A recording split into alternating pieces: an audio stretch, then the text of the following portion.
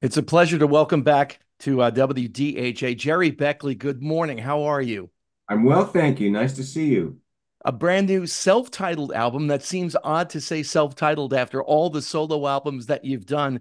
Uh, the album Gerry Beckley that's just been out a couple of weeks now. It's a wonderful collection of tunes, Gerry. Congratulations. Thank you. Yeah, I'm proud of it. Title just came from, uh, frankly, we didn't have an alternative at the time. You know, easier to remember if it's your own name.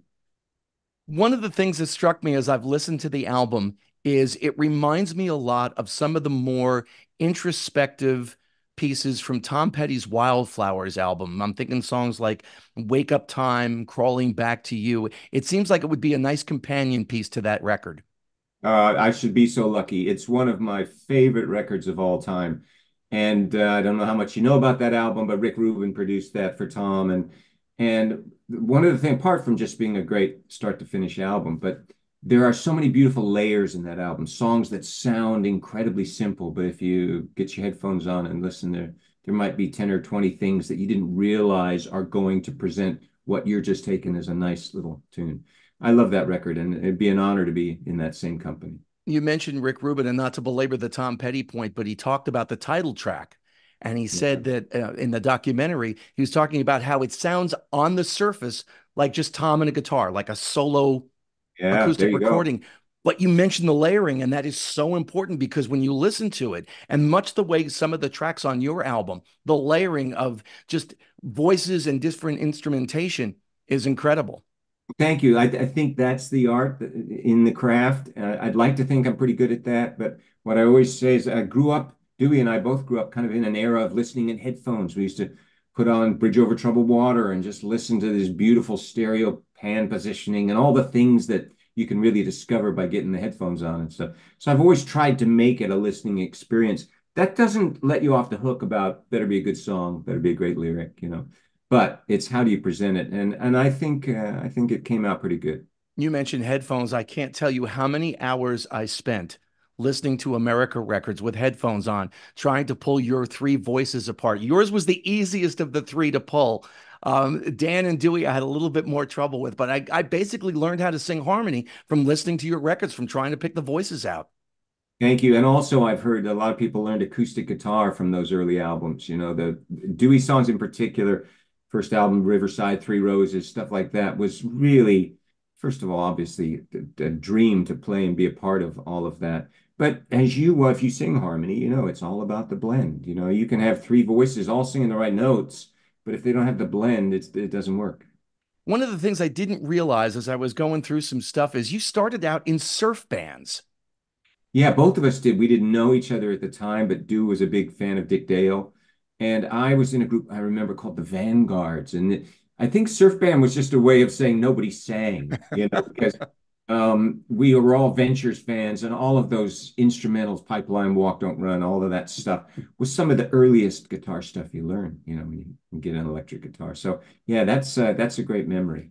I went back to the Billboard chart from November of 1963, and I found a bunch of different artists on there, like the Four Seasons, Dion, uh, Jan and Dean, the Beach Boys. So there, there's rock and roll in there, a lot of it with that surf element, if you will. And then yeah. all of a sudden, here are the Beatles coming in yeah. February of 1964, just a few weeks later, and everything changes. How did that night hit you?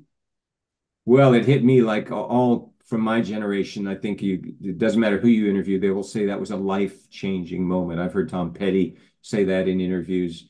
Uh, Andrew Gold, who was a dear friend, we lost, but yeah, it's it's uh, impossible to overstate the impact of that. It all of a sudden, I mean, and I was a huge music fan. I was Beach Boy albums and uh, actually some folk records and stuff, but it was a game changer. It, it, the way I explain it to kids who obviously were not there at the time was if you imagine Elvis Presley was the biggest star in the world and stuff, what if you had four Elvises in a band, you know, and each one kind of played off the other and they had they had jokes and harmonies and things you know, I run out of ways to describe it, but obviously, um, it it charted the course for myself. From that moment on, it's like, oh yeah, I think that's what I want to do. You know. So many people did. I think Steve Van Zandt in his uh, recent documentary said February 8th, nobody was in a band. February 9th, nobody was in a band. February 10th, everybody was in a band. yeah, right.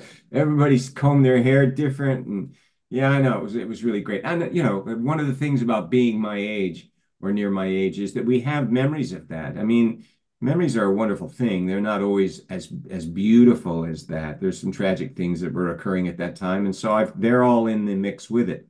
But I can tell you, I knew about the Beatles because I'm half English. My mother is English. We would go back and forth to England every summer, and it was obviously, you know, six months earlier, it blown up wide in the UK. So we were kind of just waiting for, well, how come we don't know about this? When, oh, believe me, it's coming. And as you probably know, many, many years later, we ended up with George Martin, who was at the helm for all of those albums. So yeah, I've got some uh, got some amazing memories.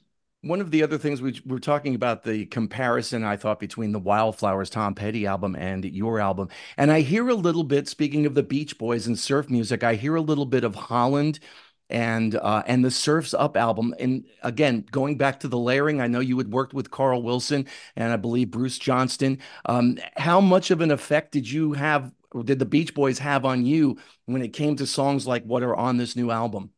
Well, obviously a major effect. Um, uh, you know, I cut my teeth on all of that stuff. They sang, Carl and Bruce sang on our third album, I think, and then I sang on Beach Boys stuff.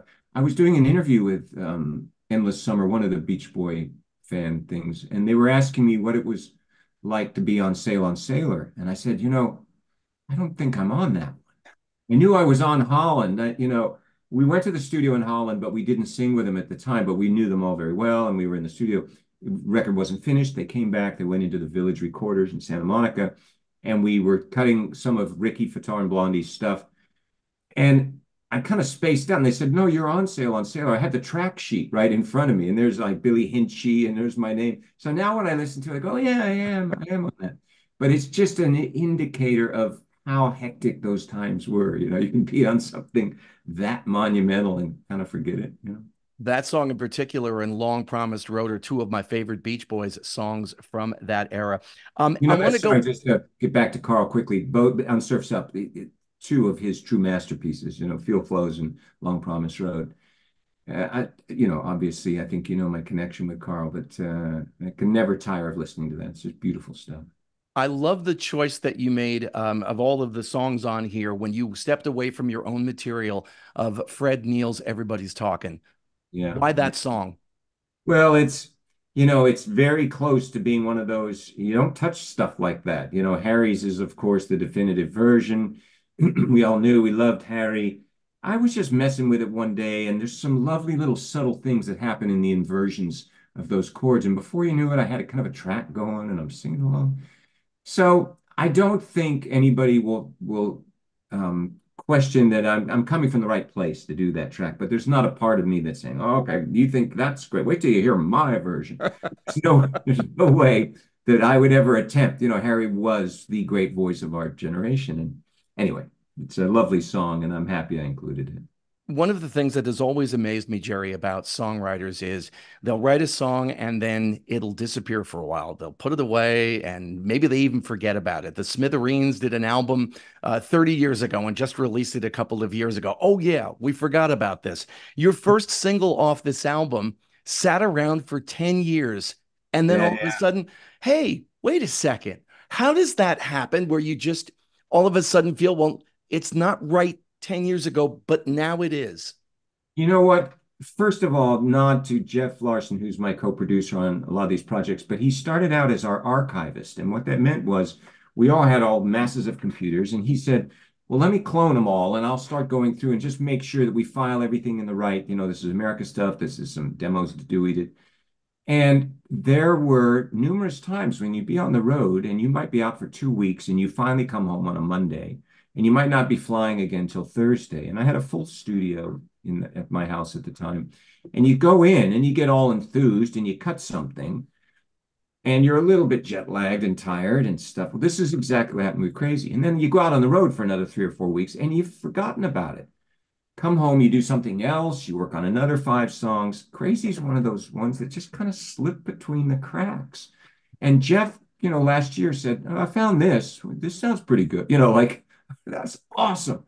You know, uh, and so obviously it was nowhere near done. We had a lot of work to do with it. And and our dear friend Brian Eichenberger from the Beach Boy Band, he he helped massive amounts of vocal harmonies and stuff. So I'm really happy with how it came out.